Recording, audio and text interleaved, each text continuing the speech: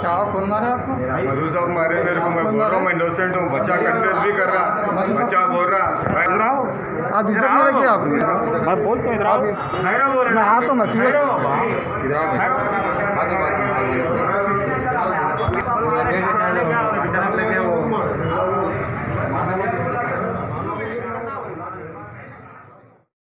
बरकत मेरा नाम सैयद हफीज़ अहमद है। मैं बहादुरपुरे पे रहता हूँ।